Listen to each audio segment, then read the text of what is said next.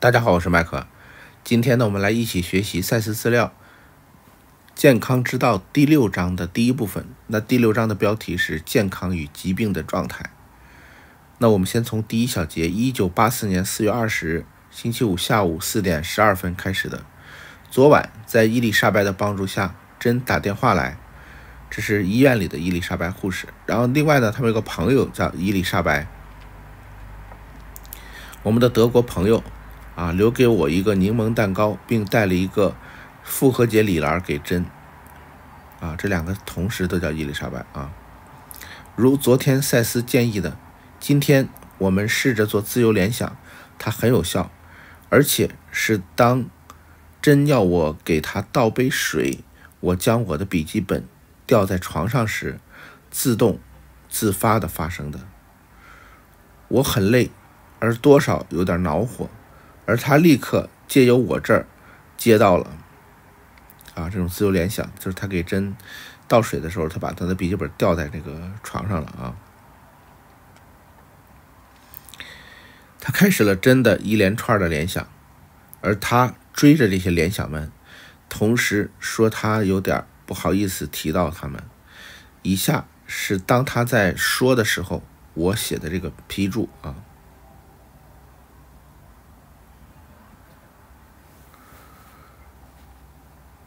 当真请我做什么事儿，我仿佛恼火；而将我的笔记本丢在床上时，他立刻感觉到一种强烈的恐惧。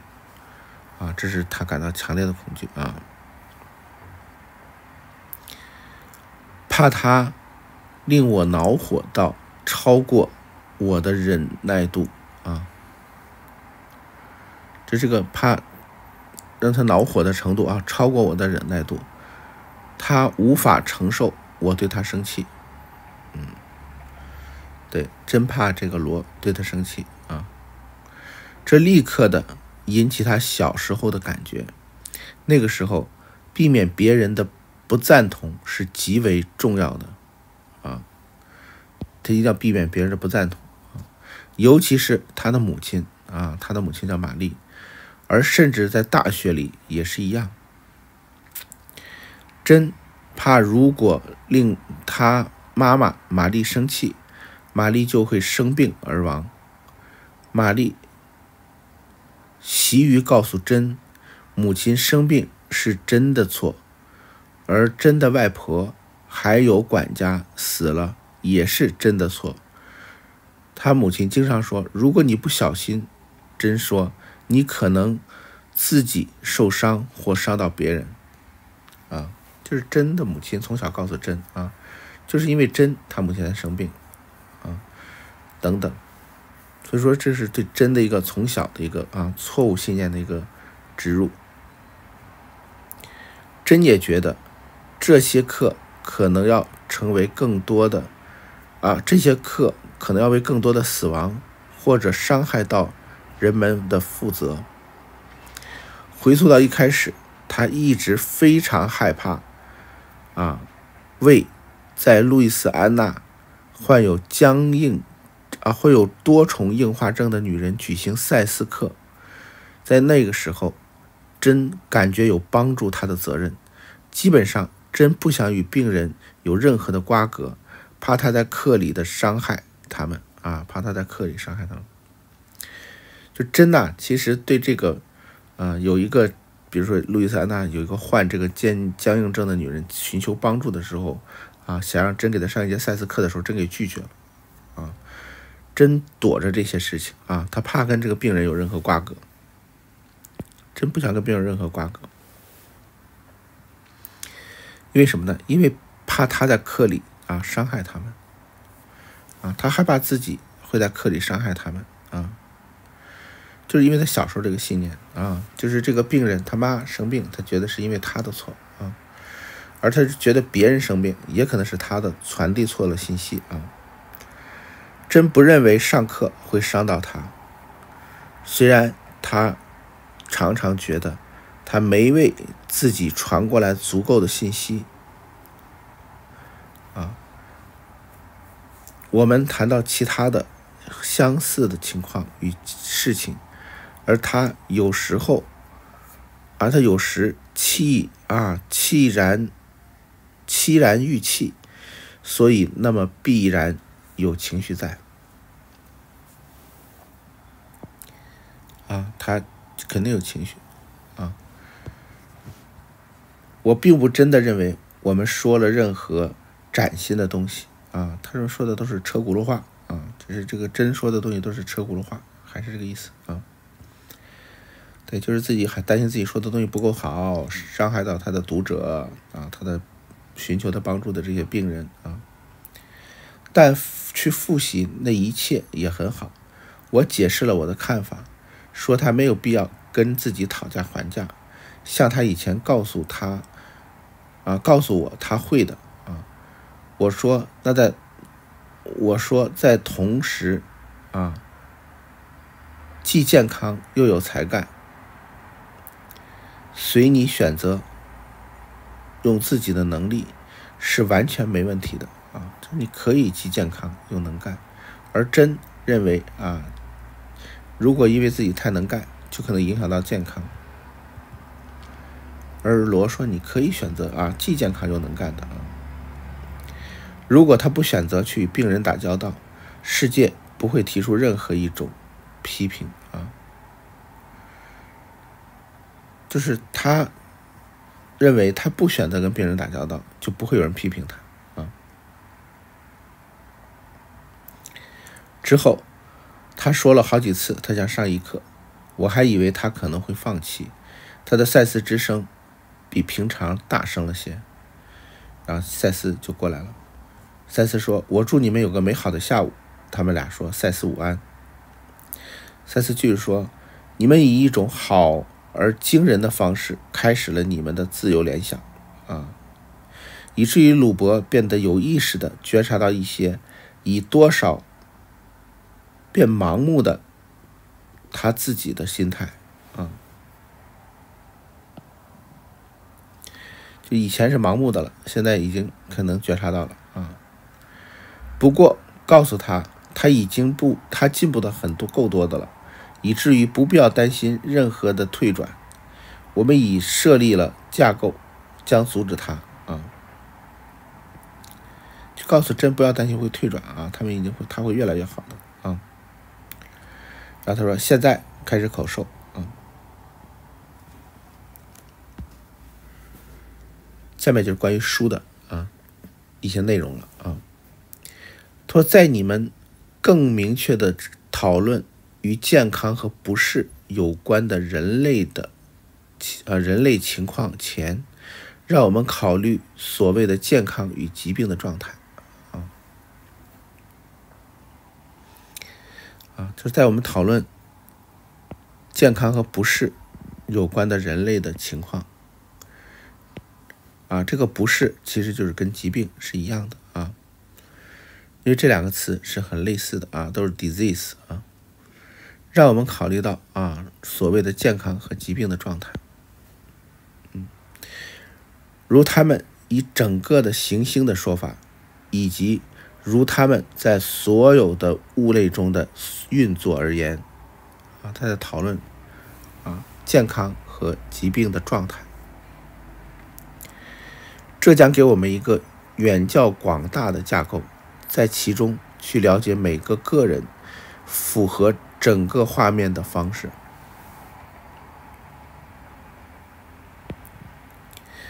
他这句话说的什么意思？啊，这句话赛斯说的是。我们现在从一个很大的角度啊，从整个地球的角度，整个从整个人类的角度，我们来讨论健康啊，在我们的这个人类文明的发展当中，或者在我们这个物种中啊，起到一个什么样的作用啊？这个非常高的架构来看，然后呢啊，你就可以去了解每个个人了。通过这个大的架构的了解，你了解每个个人在整个的画面。啊的这种方式，你怎么个人来适应这个大的整体的关于疾病啊健康与疾病的这个状态的这个整体的架构啊，个人的小的架构要符合这个大的架构说请等我们一会儿啊，我们将开始下一章，题目就叫做“健康与疾病的状态”。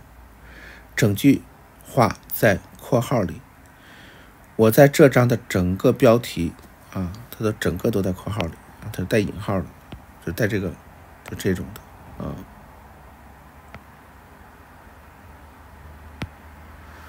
啊，为什么要加括号呢？我在这章的整个标题里面啊，加上引号，以强调标题是心怀你们对健康与疾病的概念而写的。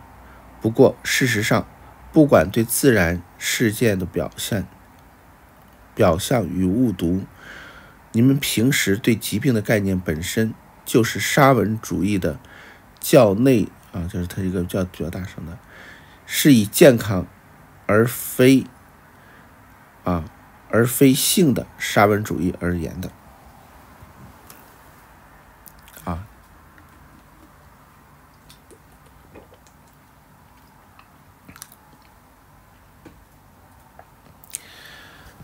他的意思是说，他说我们不要管表面上啊，我们对健康和疾病有怎样的一种误读啊，我们现在就讨论关于疾病这概念本身啊，就是我们不管你是怎么对疾病的误解，就是你们人类的这种观点，我赛斯呢是从一个更高的、更纯粹的角度来讨论关于疾病。啊，健康与疾病的这个话题呢，基本的说，只有生命状态的存在，经由他们的合，他们的合作，你们整个世界维持住其实相，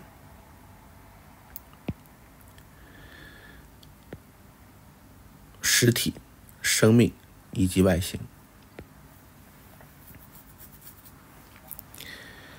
他的意思是说什么？从根本上来说啊，只有生命状态的存在，啊，就是生命的有不同种状态啊，包括健康，也包括疾病，它都是生命的不同状态，啊，由这些不同状态，它们之间是相互合作的关系啊，也就是疾病并不是健康的一个敌人，疾病和健康之间是一个相互合作的关系，然后我们整个世界才能维持住。啊，整个世界的实相、实体、生命以及外形的整个的啊架构。然后赛斯想说的是呢，如果没有你们认为的这种疾病的存在啊，作为这个生命形态的一个部分啊，就根本不会有完整的一个生命形态。也就是我们之所以活着，或者是我们之所以有这样这样一种生命状态。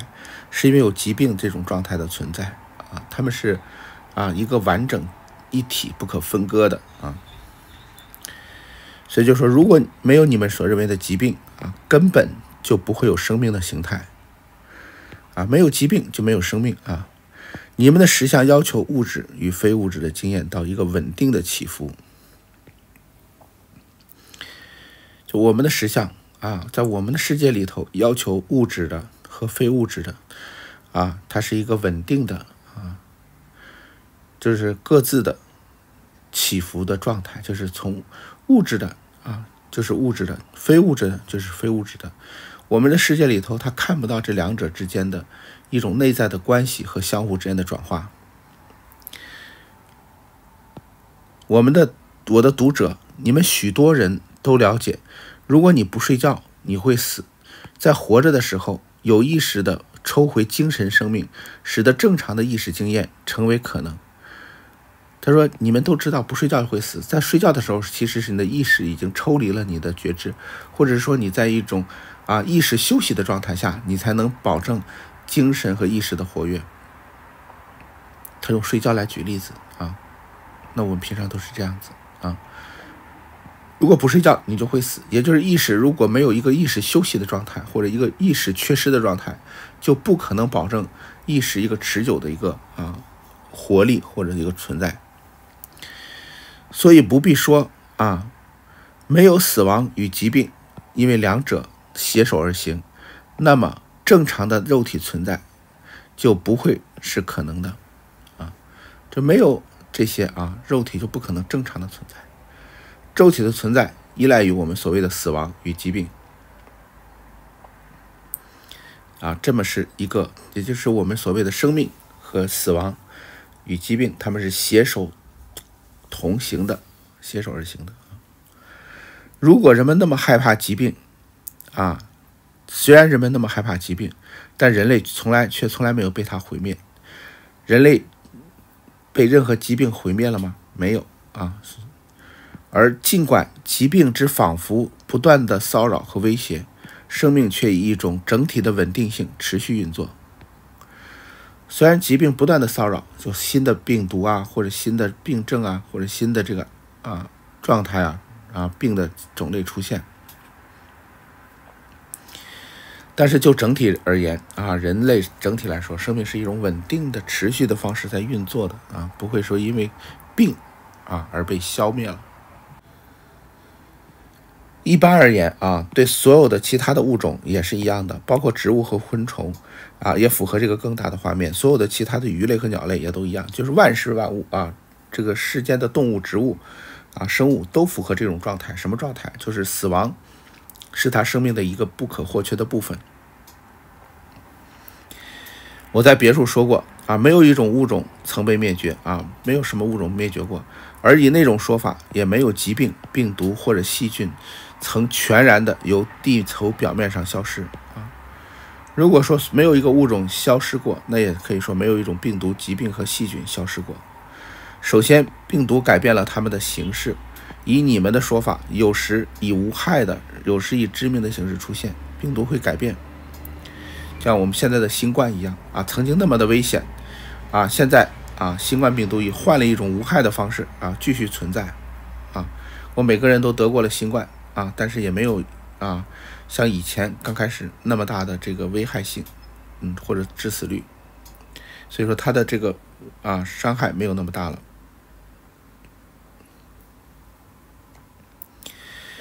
而所谓健康和疾病的状态也是在不断的变化的啊，不断的在变。而以那个更大的说法，疾病本身也是一种健康，这句话很重要。从某种角度来说，疾病本身就是一种健康，因为。它使得生命和健康本身成为可能，啊，全部都是热相当热切的啊。赛斯说，从更高的角度来说，疾病也是健康啊。如果没有疾病，就没有生命的存在。嗯。后来我们将讨论，这对你们个别的人有何意义？赛斯说，我现在讨论是一个非常笼统的一个整体的架构啊，讨论疾病和生命的之间的关系啊，和健康之间的关系。但是这对你们每一个个别的人，啊，它有什么意义呢？但就目前，我想强调一个事实：虽然将疾病想做是一种威胁，啊，想的是一个威胁，一个对手或者是一个敌人，可能似乎是非常自然的，但事实并非如此，啊，对。再次强调的是，虽然你好像把疾病当成一个威胁、一个对手或者一个敌人，可能似乎是非常自然的，但事实并非如此。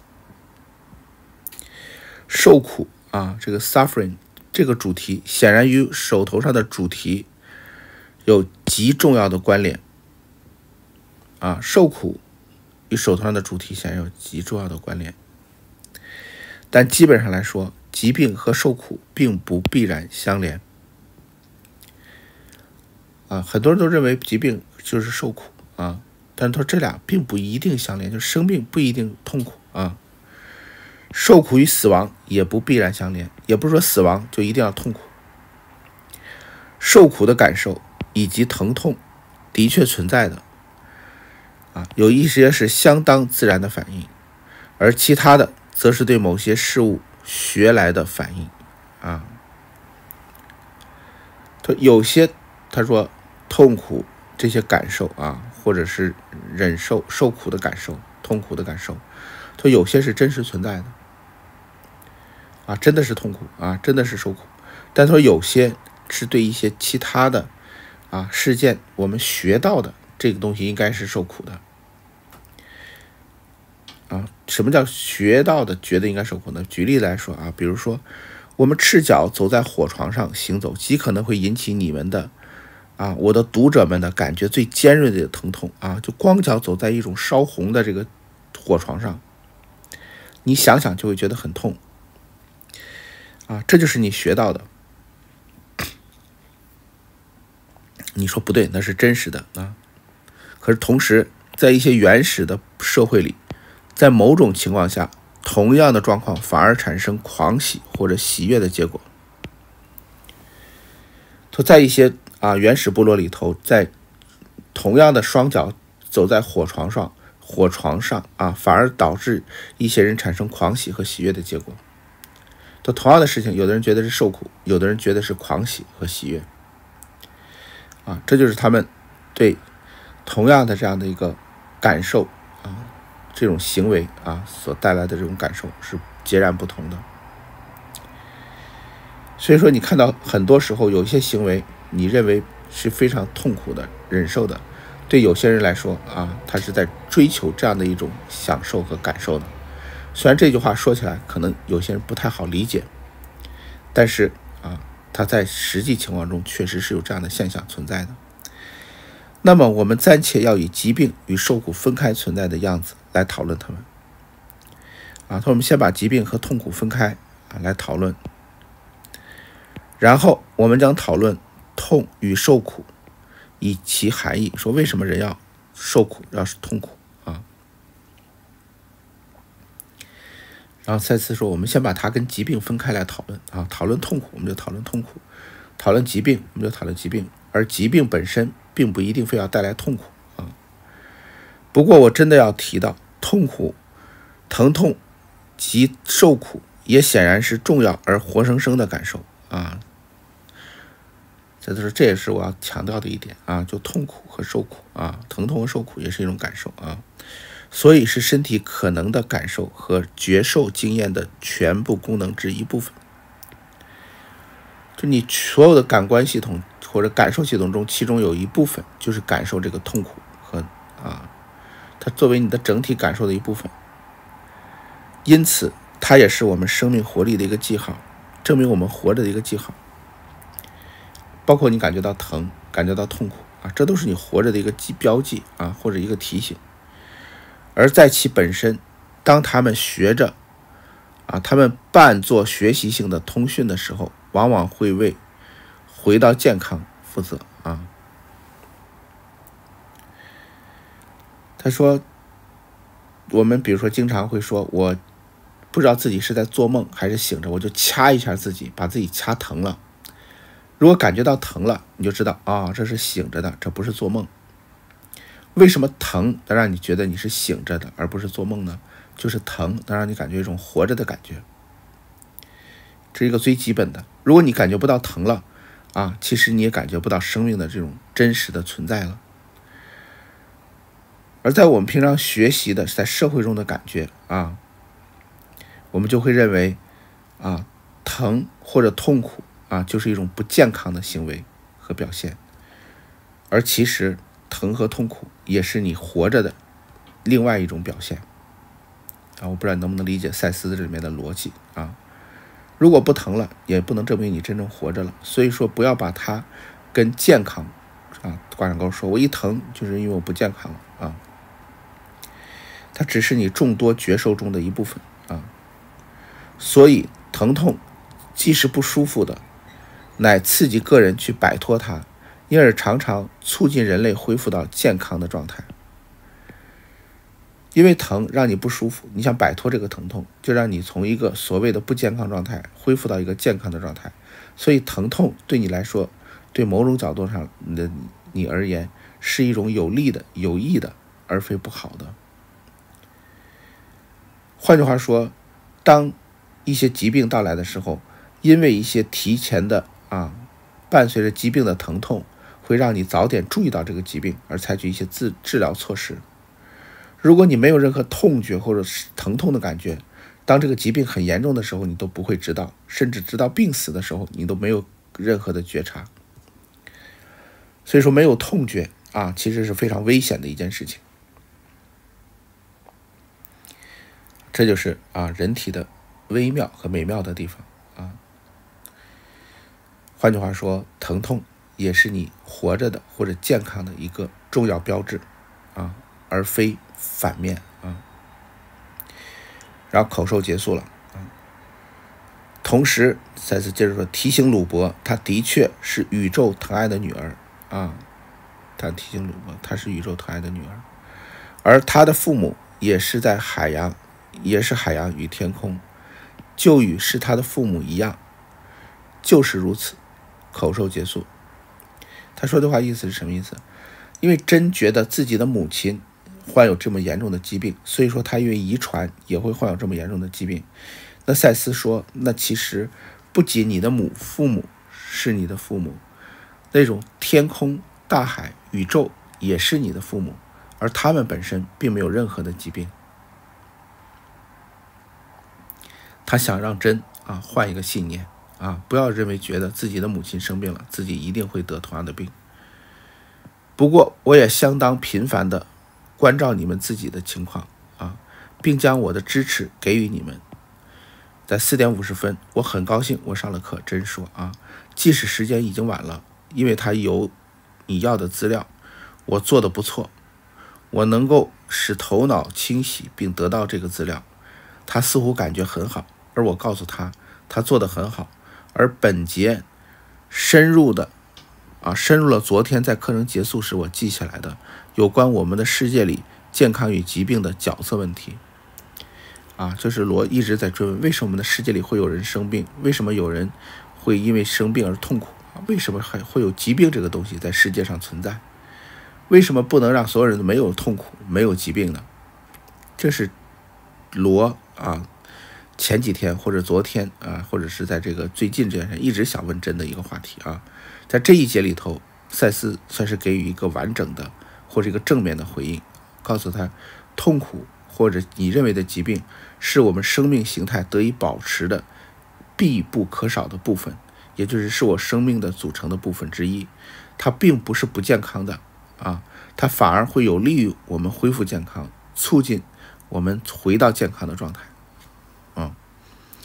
在九点四零四分左右，我在打此节的时候，真在卡拉的帮助下打电话来，他说卡拉告诉他，一年前他在四月二十号那天入院的时候，卡拉在值班，我没有记得这事儿，真也没有记得。好的，我们现在来看下一节啊，是一九八四年四月二十二日，星期天下午三点三十五分。今天一九八四年四月二十一日，没有上课，但我们做了一些自由联想，所以我在此将写一个摘要。而随着记忆节课和更多的自由联想，啊，他们的自由联想，无论何时啊，当他们传过来的时候。啊，他们最近几天一直在做自由联想的练习啊，就是想到哪儿就就想就记下来啊。但是把这种自由联想的方式啊，是作为一种练习，他们一直在做。然后在由于昨天真的这个传过来的资料，我有几个问题啊。我说这些年来他的病可能令我们损失了至少半打书，就六本书啊。这个评论引发起他的一个响应啊。事实上，今天他提到了他。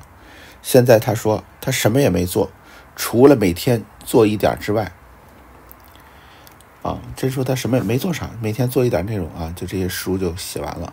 我认为，就他最自发的天性而言啊，最自发的天性而言，他曾以一个最不幸的方式啊，由我处见到了自律的这个概念。啊，这原来是一个。没有自律概念的人啊，是一个完全的自发性的自由自由的天性。但是罗是一个非常自律的人啊，你通过他记录啊、打字啊、整理啊，你知道他是一个非常自律的人。然后他说，非常不幸的是，真把罗的自律给捡到了啊，就就变成自己的一个信念了。我们谈到啊，他的心灵为何曾这样做？为什么去自律啊？他同意在医院里。他是被保护，不必去生活的啊，在医院里不用去考虑生活的问题啊，被保护的，其实虽然也是被限制的啊。他也认为他个人无法实践赛斯资料啊，这一点很关键。他也认为，他本人也认为，他个人无法实践赛斯资料啊，这是他的原话。所以你就知道，在赛斯资料的这个有效性上，真并不是一个非常好的一个案例或者是一个范例，也就是他并没有非常好的去实践它啊，他没有办法实践他自己的精神作品啊，赛斯资料是他的精神作品，但是他却无法实践赛斯资料。一个非常好的形容是什么啊？那个高质量的啊精神作品，他的症状有令他。数年来离不开他书桌的这个用处，啊，就他现在这个行动不便，可以让他这么多年来一直啊只能守在这个书桌，因为他行动不便，去别处也不方便，天天只能在书桌上啊写字啊或者是写书，因为他害怕，如果不去管他的话，他会飞开到某处而不做任何事，因为。他怕自己太过于自由的天性了，如果身体啊不不能成为一种限制，让他留在这儿写作的话，他不知道跑到哪里去干别的去了啊。他的症状以及现在啊，比如说医院保护他不受批评啊，看医院里头没人在批评他了，消除书的巡回演说啊。就是本来他应该给书做全国的巡回演讲啊，这个也取消了。那整个事情啊，整个关于书的推广啊，在一开始他就被苏玛丽吓到了啊，在司马丽是非常自由的啊，这天性的一部分。正如在一九六三年课刚开始的时候一样，但同时他也非常的好奇和有劲儿，他也对课间的考验。犯错的可能以及降神会感到了害怕，啊，他非常好奇啊，但是他对课间的考验，什么叫课间的考验？就是他们那段时间老去考验一些啊这个超感官的体验，比如说他把一些内容写在信封里，然后他让赛斯去猜这信封里的内容是什么啊，犯错的可能啊，就是有可能犯错，以及。降神会，就是他们会时常会组织一些所谓降神会，就是比如说请赛斯啊通灵的时候来到了众人面前啊，这叫降神会啊，就是进入通灵状态，让别人看到啊，展示给众人看的状态啊，以及他会被称为一个歇斯底里的女人啊，这都是真害怕的东西，一个爱出风头的人啊，这都他怕形成的啊。做对了，不像做错了的这份啊量大，对，很好，时不时的今天资料，今天的资料带着泪水啊，也就是说，在真的感觉里头啊，做错的分量反而大。啊，就在他对自己的认知里头，他觉得他做错的部分多于他做对的部分。这是真对自己的整体判断。你看，第一个，他不去践行赛斯资料；第二个，认为他在这个赛资料的传递过程当中，啊，他很多他认为他做错的地方多于做做对的地方啊。我在我讲到第一节真伪啊，这是第一，就是在课里头哪一节里头第一次记录真有他的身体的症状，他想找这个记录啊。比如说，在一九六五年的时候啊，这很早，十一月十五日啊，这是第二百零八节的私人课的部分，这是他第一次记录真的症状啊。然而，他说对他而言，整件事情真正开始于是一九六六年的六月，我们去了一个关于赛斯密件的一个 party 啊的前一天，我们的朋友想要庆祝他的第一本书。啊，通灵的书，就是来自灵界的信息啊啊，可能不是这本书啊，不是来自灵是他的第一本书啊，就他的朋友，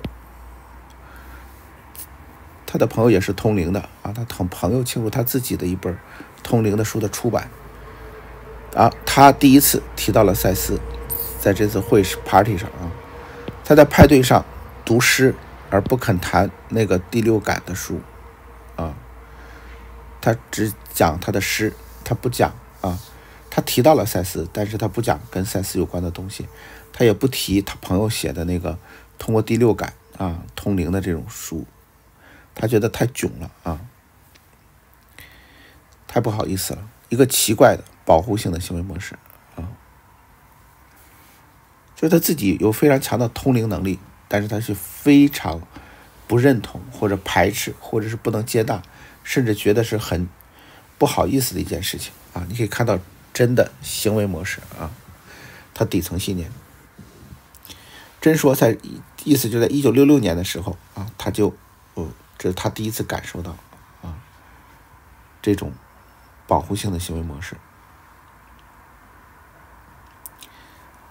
就是不敢让别人知道他有这个通灵的能力，也不想讨论这件事情啊。在四点四十分，当我问他。很明显的，他的症状正朝着极大的问题前进。他的心灵为何没有挺身保护他的时候，他快哭出来了。啊，罗说：“你的这个身体越来越糟糕到已经到了很严重的地步的时候，你的内在的心灵为什么不出来保护你？”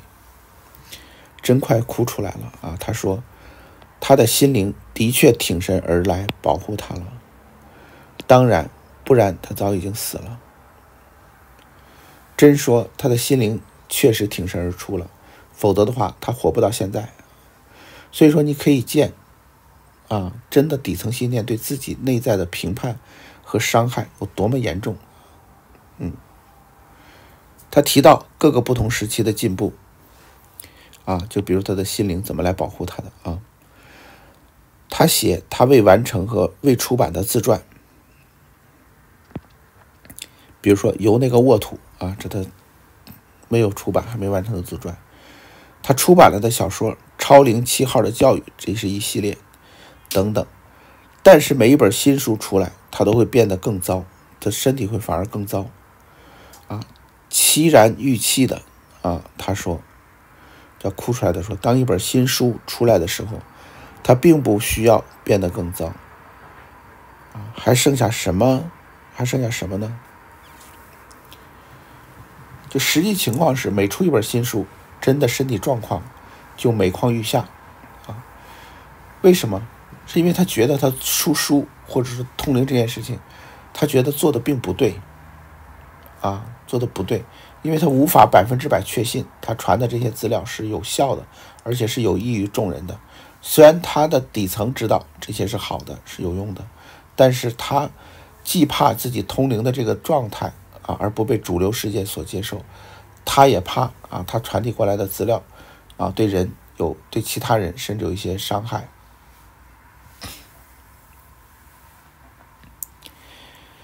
他同意我说的，他现在有医院的终极保护了。啊，他说最好由此能够获得些什么？他说，挖那些感受并不好玩。他说，天哪，他们最好值回票价。啊他挖那些感受真的很不好玩，非常难受啊！什么感受？就是他底层的这些信念啊，他对自己的不接纳、评判啊。可是第二天，就他说的是上面内容都是前一天的内容。在一九八四年四月二十二日星期，显然上了一课。它发生在复活节，冷飕飕的灰色的一天。真读了昨天的联想资料，就是前面这些资料，他总算读完了。但却必然费了一番力气。之后我们讨论那个资料，他宣告要上一课。现在我祝你们两个有美好的下午。赛斯来了。以下的资料是给鲁伯的，也可被用为啊联想的资料。他说：“请等我们一会儿啊。”停顿良久，他说：“鲁伯觉得啊，他的写作以及写作的能力是他存在的合法理由。”鲁伯认为他只有写作啊，他才配活着啊。以及写作的能力该补偿了所有其他的缺陷啊。单纯写作很好或者写的很好，应该弥补他所有其他的缺陷，包括身体上行动不便的缺陷。他的母亲有助于令他觉得不讨人喜欢。他母亲让他觉得他自己不讨人喜欢，但他的能力仿佛是他可取之处。虽然他觉得自己不受人喜欢，但是觉得自己有写作的能力是非常优秀的，因而要不顾一切的鼓励和保护。保护什么？保护他的写作能力。如果你写出一个鲁伯的好特质和极佳的个人特性的单子，是有帮助的，啊。他说：“你如果把鲁伯的啊非常优秀的或者好的品质给他列张单子，对鲁伯是有帮助的，因为他对自己有太多的负面的看法。”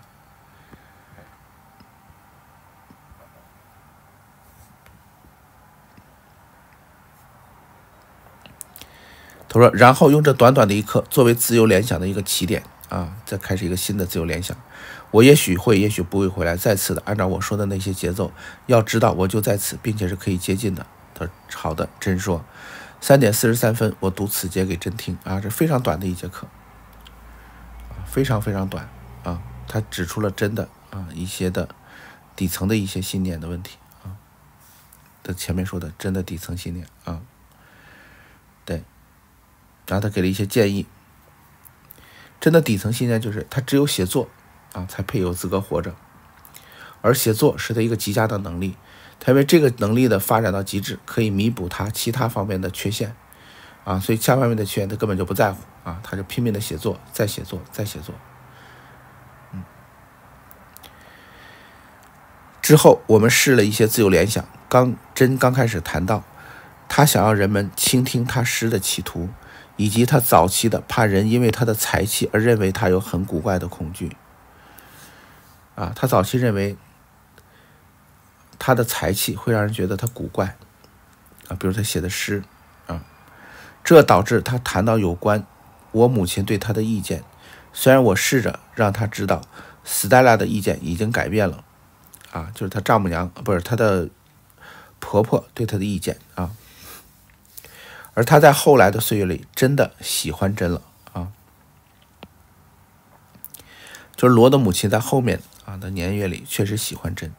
真同意啊！我说，批评过去是容易的，然而一个人反而该只试着由他学习并了解他，并从那儿开始。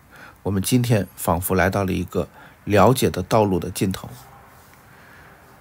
罗说，对过去的这些批评啊，批评过去自己的一些事情，或者是说，啊，嗯，包括过去里头别人对自己的这种。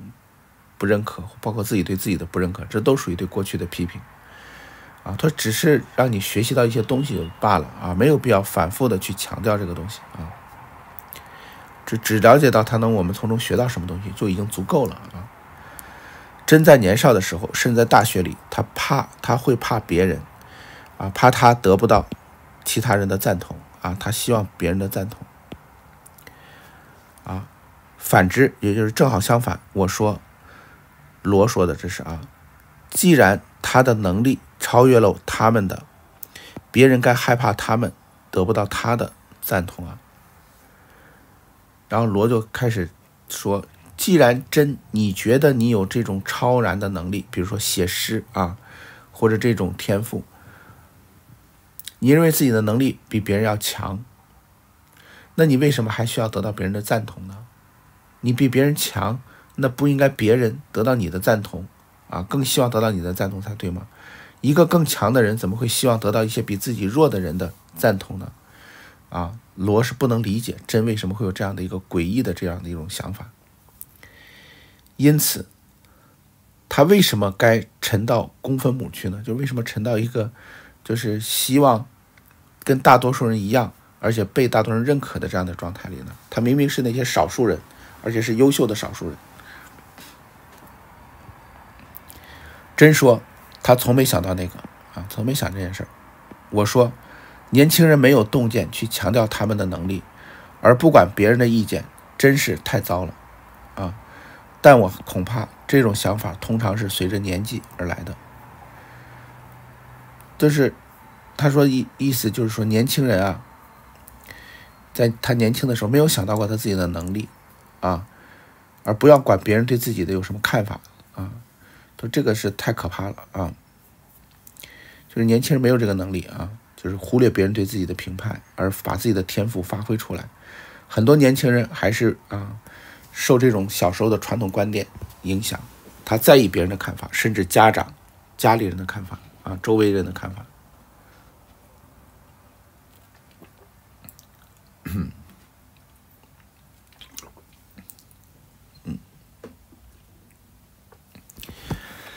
他说，即使在一九五七年的夏天，你这时间就更往前了啊。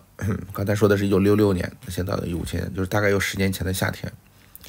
在滨州密尔佛作家协会的那些人，啊，在滨州他有个作家协会啊，他们也告诉真啊，他该长大而不再渴望写作，说他该生个小孩儿。就是作家协会的那些人啊，他们跟真说啊，你不要老天天写作了，你该好好生活，你该长大，你该生个孩子啊，而不要像个小姑娘一样。天天的啊，沉醉在像文艺女青年那样不停的写作，不停的写作，而真觉得她的身体可能会借着怀孕而背叛她。啊，她担心怀孕了以后，她的身体啊就就会去照顾孩子啊，照顾家庭，而不会去写作了。她甚至认为我也会那样觉得。啊，他认为罗也是这么认为的啊。没错，我并不急于做父母。罗说没想做父母，但我并没有那样想到背叛或者是讨价还价。罗说，我确实没有想着急做父母，但是我也没有想过说生了孩子啊就对我的工作有影响，对我们的事业或者对我的天赋有什么影响。罗说，我从来没这么想过。真是怕怀了孕毁了我的事业啊！他爸担心毁了罗的事业啊，因为我将全，我必须全天候的工作，啊，我很确定我可以有更好的反应，啊，因为他觉得罗的工作收入不稳定，罗现在在当时啊，一九五几年的时候，如果真生了个孩子，罗就必须得找一个全职的稳定的工作，才能养活好这个家庭，包括孩子，而真觉得。罗更喜欢自由自在的绘画，而不希望有一个固定的、稳定的工作。所以说，为了不发生这种事情，他宁愿不要孩子。认为怀孕会毁了罗的天赋的。罗说，他很确定的说，不会的。啊，他会说，有孩子，他反而会更开心。啊，他会有更好的方案和解决方式。啊。虽然这是一个过去的可能性啊，但是罗他们终于谈到了这个话题。我想今天重要的事情是，当我们谈话的时候，我们看见在每个题目上，真如何描写负面的信念和反应的。我们可以看到真啊，他总是抓住一些负面的东西啊，不论是在作家协会的时候，不论是关于生不生孩子的问题。啊，不论在他大学时期啊等等，真都是持一个非常负面的信念的啊。但我们看到了，这是一个非常好的要点，它是我们以前有过的一个想法，看起来仿佛是我们所完成的每一件事情，都是面对着或者不顾负面情绪、感受和信念的密集火力轰击而完成的。罗说，我们完成了这么多赛事资料，完成了这么多工作。是在冒着真的密集的负面情绪的炮火中才完成的啊！他的意思是你不知道真在平常中对自己啊对这件事情有多么负面的信念啊！就通过这件事情啊，他们这种自由联想的方式可以看到一部分啊，从小到上学到大学，到年轻的时候啊五几年写诗的时候啊二十多岁的时候，一直到现在啊。他一直在，啊，一个负面的模式里头出不来啊。不论他到了哪里，他都会把这个负面的东西捡起来啊。然而，他终于承认，他知道他成功的赢得了我母亲，却非我父亲啊。他知道他得到了斯黛拉的这个认可啊。至于对他自己的母亲玛丽我说承认他在那儿没有成功啊，他在玛丽那儿没有成功，确实是，或者是选择了撤退啊，或者是承认失败。他在玛丽那个问题上啊，是完全没有问题的啊，没有必要去逼自己啊，就是不成就不成啊，就是什么叫成，就是得到他母亲的认可啊，这件事情他是失败的，失败就失败了啊，但是他对自己有很大的自责啊，真认为。他母亲在他是小孩的时候就恨他，这真的认为啊啊，而甚至仍如此，到现在长大了仍然是如此。真说，母亲的憎恨导致他需要保护。我说完全正确，完全正常啊。因为母亲对他的憎恨，就导致了他啊一直采取了一个对自己的过度保护状态啊。这对很多有类似经历的人都可以在他身上看到啊。他不像那种生活在父母的爱的这个里面的孩子，他对所有的外在的环境，他持一个开放、信任啊这样的一个态度。而在这种环境中长大的孩子，他往往愿意过度的保护自己，把自己缩在一个非常坚实的壳里面啊，甚至不愿意让别人来帮助他，甚至不愿意走出来。啊，当有人来碰触他的这个保护壳的时候，他有非常强烈的反弹。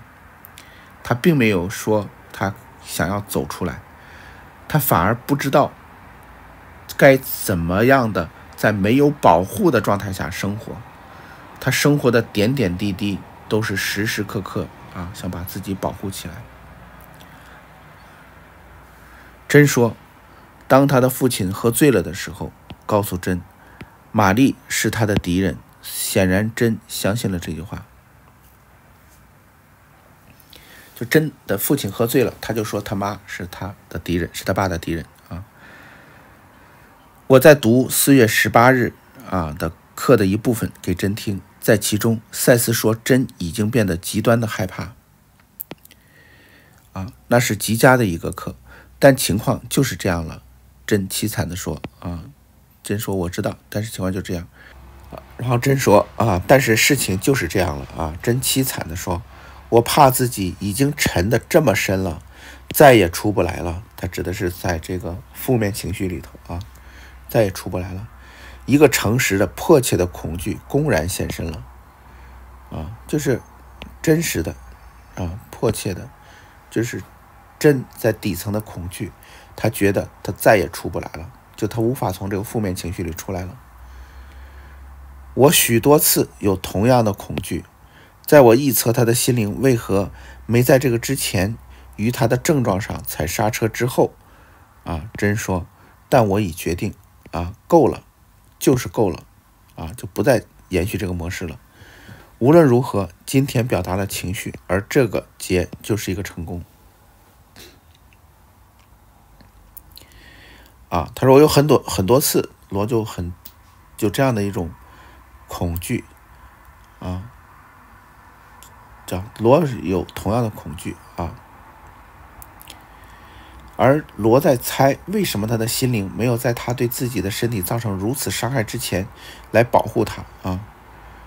其实真前面已经回答了，他的心灵已经尽最大的可能在保护真了啊。否则，真已经活不都都活不到今天啊！因为他一直在一个非常深的负面情绪系统里头啊，一个模式里面。好，我们来看下一节。一九八四年四月二十五日，星期三下午三点十分，没有上课。以下是昨天的四月二十四日我们讨论的自由联想的一个总结。今天早上真的心情不好，而且不舒服。这是怎样的一种生活呀？他说：“你这。”他他他很啊不喜欢。他说他曾经想到死啊，他曾经想到死，但不想对我那样说啊。你看他的底层信念，真为什么会死？他早就想到了死啊，他只是不说而已。他在找某些更好的事的一个信号，可以振奋他精神的一些改善啊。当我读三月十九的课给他听的时候，以及我从前习于啊来结束梦见化与价值完成的随笔的一首伟大的苏玛丽的诗之后，他感觉好些了。啊，真想要一些更好的事情，给他一个信号，所以他就给他读了一些诗课和一首苏玛丽的诗。真甚至想到，请黛比·哈里斯在晚上替另一本儿童书籍，或许也包括一本自传，记下口述。啊，就开始记口述了啊，就打算他要完成一本儿童书了啊，或者是一本自传了。今天早上，护士和护士助手们说笑话、耍把戏，搞得不亦乐乎。这通常有助于令真开心。虽然如果他们做事时是。做事时心不在焉，比如说，当他们抬起针的时候，他会精神紧张。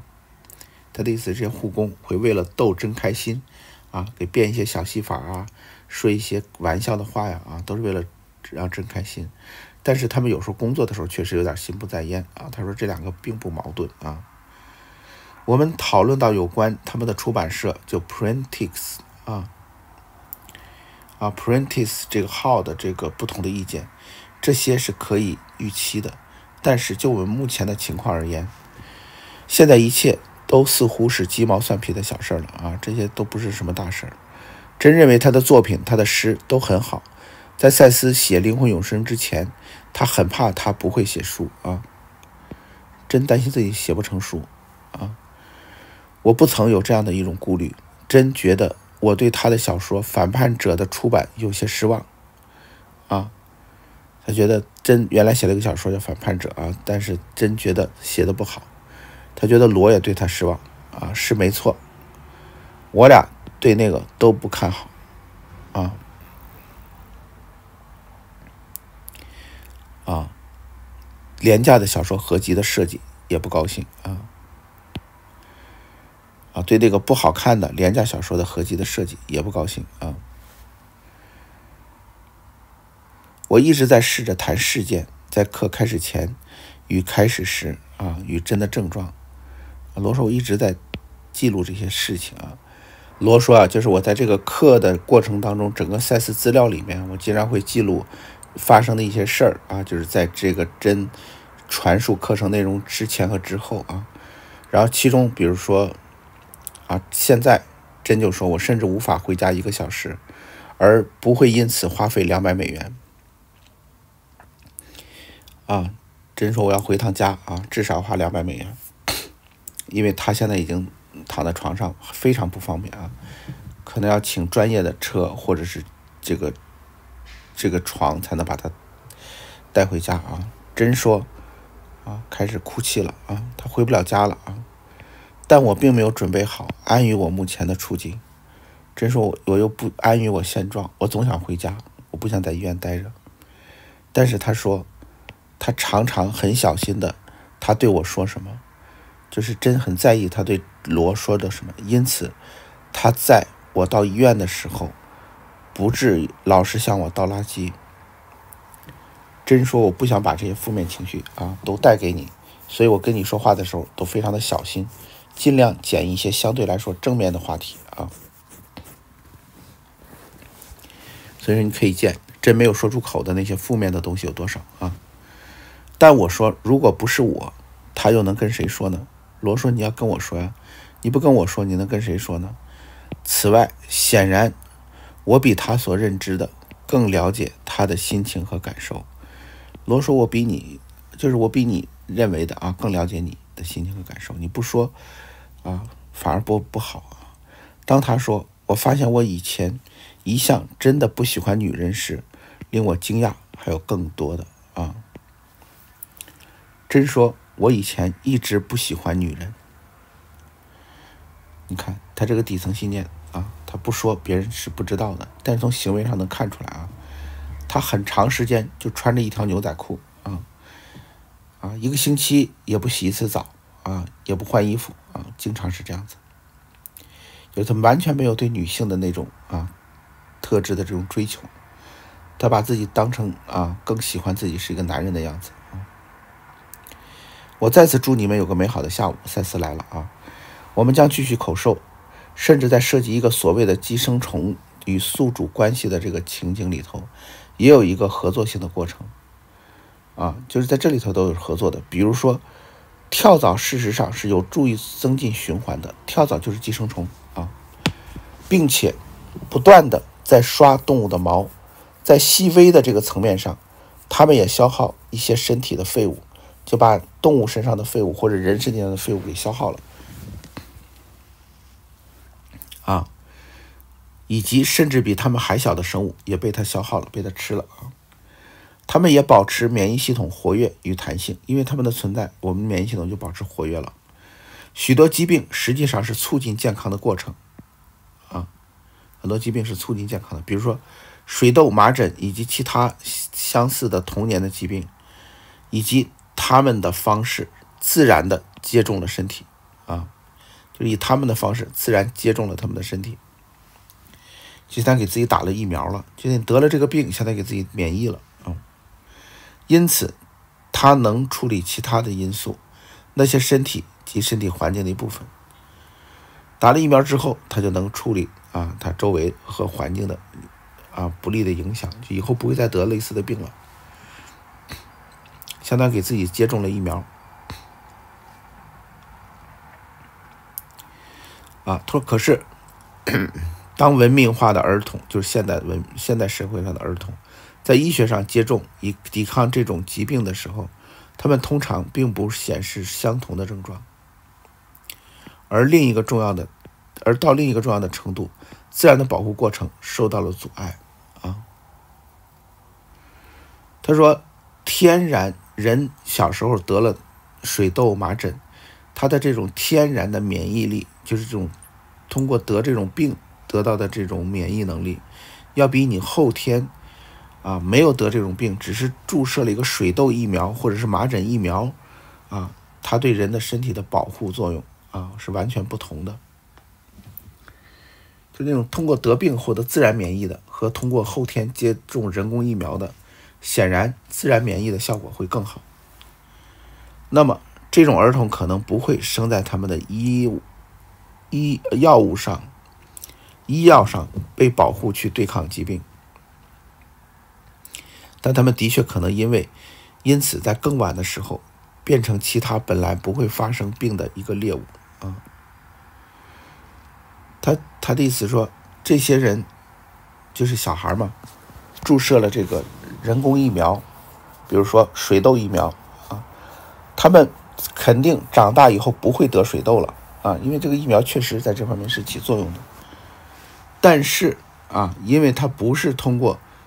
小时候的那种自然的水痘的那种得病，然后获得了自然免疫，那他就算不得水痘这个病，他也会在以后的过程中，在他更晚的时候，就更以后的时候，他会啊得一种本来不会发生的病啊，本来不会发生的病。也就是说，如果是他通过自然的得了水痘，然后获得了自然免疫，那这样的他有些病就不会得了。而他通过接种了水痘疫苗，获得了免疫能力，即便他不得水痘了，但是他可能会得其他的这些病，而这个病本来是不需要得的。啊，这是这个意思。我在此就一般而言啊，因此要记住，你们个别的信念、思维和情绪引发你们的实相。所以，没人是他的，啊，在他的时辰前死去的。赛斯说，这个东西是每每个都是非常个人的啊，完全个人化的，啊，就是由他的情绪、思维、信念组成的实相，而而而形成的这样的一个啊。比如说，他什么时候该死啊？他就是在这个该死的这个时间点去去世的啊，而不是因为得了疾病或者得了什么病而去世的。就他没有一个人在他不该死死的时候而去死的啊。每个人选择自己死亡的时间，时间是自己选定的啊。不过说真的，许多病症像艾滋病这种情况的发生，是因为免疫系统曾经被如此的损害，以至于身体自己的平衡过程中没有允许去贯彻到底。都像这种艾艾滋病啊，免疫系统彻底损坏了，损坏到如此严重啊，以至于导致于自己的平衡系统都没有办法去平衡了啊，没法修复自己了。不过再一次的。在个人没设定他们的死期之前，没有人会死于癌症或者艾滋病，或者任何其他的症状。赛斯说：“即便如此，你要明白，每个人并不是因为得病而死，而是因为他设定了他的死亡的时间。疾病只是一个啊方式和方法啊，带他离开这个世界。”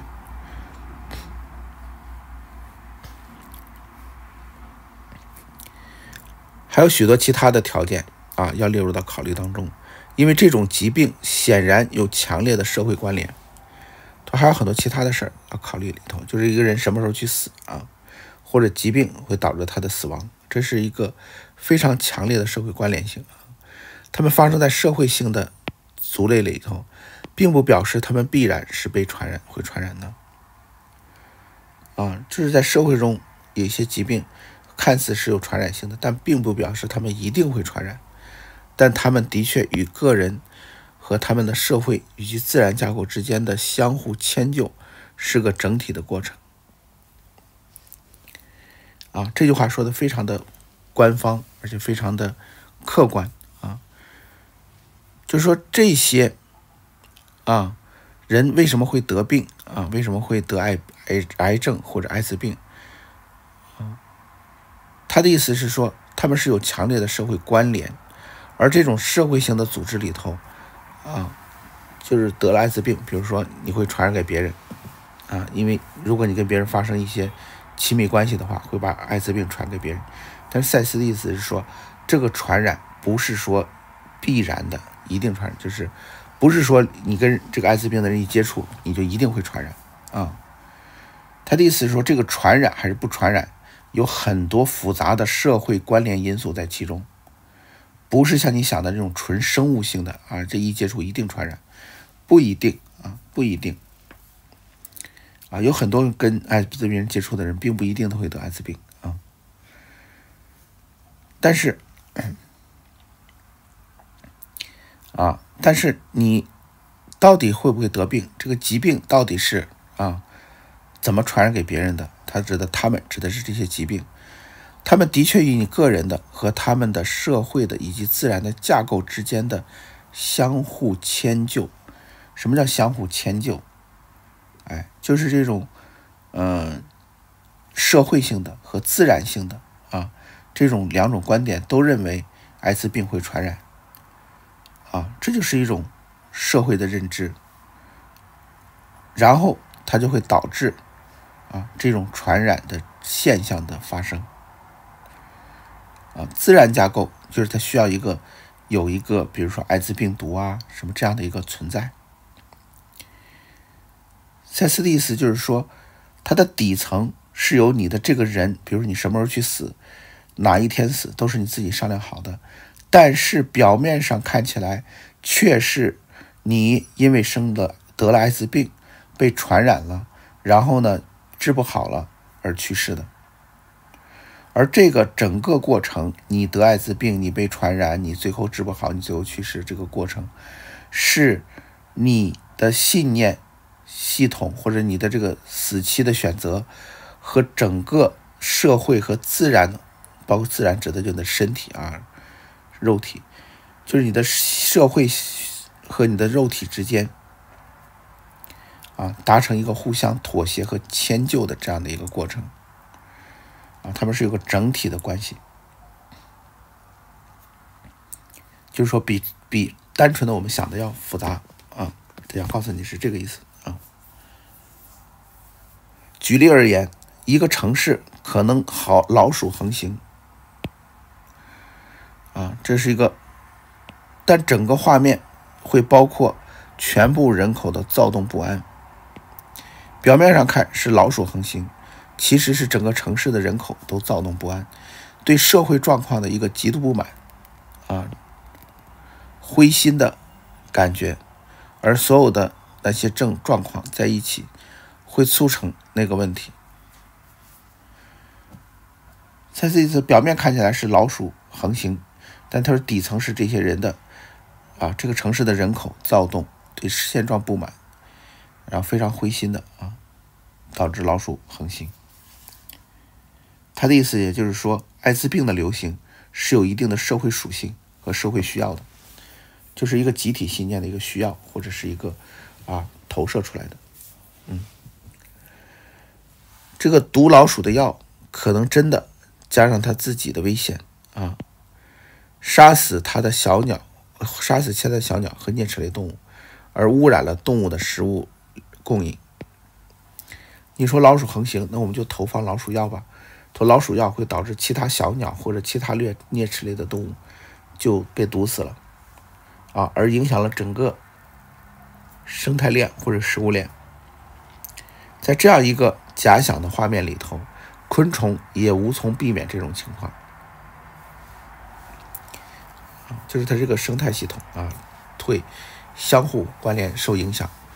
事实上，在那个整个环境里头。所有的生命形式都会寻求一个平衡的回归，啊，但是是回到更有利的状况。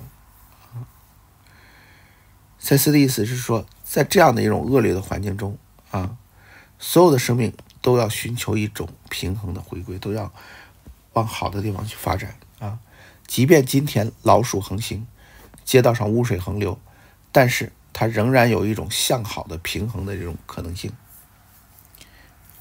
这是赛斯想告诉你的这个点啊，你也许会奇怪，为什么这么多生命形式会卷入到看卷卷入可能看似自我毁灭，往往会导致死亡的行为里头呢？他说你可能会奇怪，为什么这么多生命形式啊，都卷入到这种自我毁灭里面去啊，或往往导致死亡的这种行为里面去呢？怎么都会自寻死路呢？但是你要记住，没有意识认为死亡是个结束或者是一个灭亡，啊，是一个灾难。他说，真正的意识不认为死亡是个结束或者灾难。所以说，你认为为什么这么多生物会卷入到死亡里头去？为什么自己会给自己安排一个死亡的时间节点？为什么？啊，其实这是罗在前面几节里一直想问赛斯的话，说为什么这个世界上还会有？疾病、痛苦和死亡啊，赛斯这里头其实延续着上一上上节，然啊，再给大家做一个解答。他的意思就是说，在意识的层面上，死亡没有任何的跟我们想的死亡是不一样的。他不觉得死亡是个结束，也不觉得死亡是个灾难，他都不认为。他认为死亡是一个新生，啊，他认为死亡是生命健康状态的一种必然的状态啊，也就是死亡是另外一种健康啊。反之，却将它看作继续肉体与非肉体存在的一个方法。啊，相反，你的意识认为死亡只是他在意识的在肉体状态和非肉体状态之间转变的一个过程。啊，这他是这么认为死亡的。今天下午也许会，也许不会回来，但无论如何，我也启动那些鼓励自我疗愈、信心以及幸福的坐标。啊，他说：“谢谢你。”三点三十五分，针曾因为护理照顾而被打断了一次。我不知道是什么时候，但稍早一些，相当的早。我感觉那会是今天的主题啊。他说：“他能感觉到这是今天的主题。”他说：“也许是要针对你自己的问题。”他在补充，就是罗以前一直在问赛斯这个问题。其实这里头，赛斯等于说给了他一个明确的答复啊。然后他补充说：“我知道他还在一章里，还要在这一章里头啊，至少还要谈到另外两件事情，比如说在某些时代，人们大部分在三十几岁就死了啊。他在一段时期，比如说，而在通常一些时期里头，则活到非常老啊。他说这里头赛斯可能会谈到这些，还有。”我们脱离了自己关于死亡的感觉，而在而在怕它。啊，我们不去去感受死亡的感觉，而我们害怕死亡。啊，而死亡和像其生命的其他形式一样，它也是一种感觉和体验。我们应该去感受和感觉死亡，而不是应该害怕，就因为像它跟我们生命的其他形式是一样的啊。而它并不会叫人们不去接种啊。他赛斯的观点并不是让人们说不要去接种了啊，不然的话，他结果是完全的困惑。啊，就是他明明相信这种接种对他身体有好处，他已经持这种信念的人，那接种反而对他是有更有帮助的啊。赛斯并不是要求所有人都不要去接种疫苗了，啊，他只是他这不是他的观点啊，他只是在陈述这样的一个啊可能性，就是如果你通过自然接种，效果反而会更好啊。如果你通过人工接种啊，有可能会避免了这个，我不知道你能不能理解他话的意思啊。就是说，如果你这个人啊，可能假设啊，在你举例子啊，比如说在你这个五十岁的时候会得一种这个传染病，会死去啊，这是你的一个自我的选择和安排啊。但是呢，这个传染病呢是一种通过疫苗呢可以避免的，比如说啊，假设说是肺结核的啊，你可能会在五十岁得肺结核。可是你打了肺结核疫苗了，你在五十岁不会得肺结核，不会死啊。而这时候呢，但是你五十岁要死这件事情，是你早就已经安排好的。那这时候你会得另外一种病啊，你会得另外一种病，然后你也还会死。赛斯的意思是说，他不是不让你去打疫苗啊，他是告诉你说，你的自然的这种安排啊，都是非常的神奇和美妙的啊，人为的想。让人类统一的不得某种传染病啊，但是并不妨碍这个人会得其他的病。我认为这节非常有趣啊，这节内容非常有趣。赛斯对于跳蚤的评论，我好奇，关于要不要在屋子里用法兰克啊朗威尔几天前给的跳蚤炸弹，这假定会杀死屋子里的每一只跳蚤，而兽医给了我们去湿粉。去用在猫身上，实际上这会不会剥夺了它们作为指的是跳蚤的一个有价值的一个共生关系啊？就跳蚤和猫寄寄生虫和宿主之间的这种有价值的关系呢？啊，这是罗开始反思这件事情。我开始暗愁啊，既然现在屋里的跳地毯上全是弄干净了啊，都是没有跳蚤了啊。这个夏天如何对跳蚤的情况妥协？啊，罗开始含糊了，说到底要不要杀这些跳蚤了？啊，妥协的意思是不是要放弃啊？去杀这种跳蚤的这个跳蚤炸弹了？我告诉真，塞斯谈童年接种导致后来的疾病的资料，也许对统计学很有价值。显然有足够的记录存在，以至于这种关联可能找到。啊，其实赛斯说的跟统计学没有啥关系。如果长期的努力的去找的话，这样的一个发现可能导致医学治疗的一个修正。啊，其实没啥意义啊。虽然我不确定是什么或是如何，我告诉真，这个资料令我臆测关于乔本巴洛的事情。在他的一生中，动过许多次手术，而常常满身都注满了药物。这种重复的用药是否可能与他现在得癌症有什么关联呢？而甚至现在，乔也在接受强力的化学治疗。我相信他在掉头发。今天真说他曾与黛比·哈里斯谈过，而后者每周会来三晚，同时尝试真会尝试一些自发的口授。他们也同意了。完成的稿子每每一页五毛钱。不过。真不知道，在另一个人尝试一个像自传这样的情绪化的主题会怎么样？我说让他自行解决吧。啊，真在口授自己的自传啊，有有人帮他记录啊，这个黛比·哈里斯来帮他记录，而呢，他记录一页就会给他五毛钱的报酬啊，就当于是记录，主要是啊。我们我和珍两个都很感动，昨天我们由莫德卡德威尔那儿收到了总共不止九百美元的支票。今天中午我去医院的路上，将他们存到那些特殊的账户里了。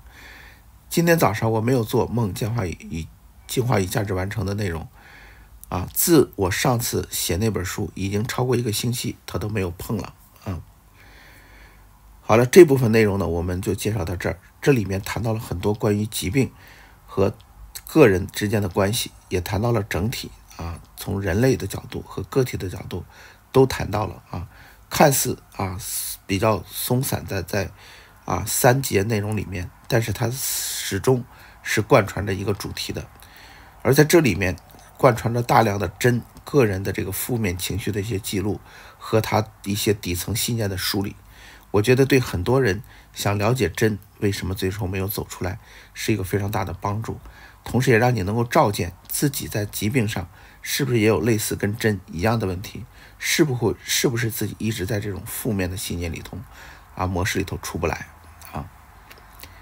好了，最后感谢大家的收听，祝大家都有神奇而美好的一天，谢谢大家。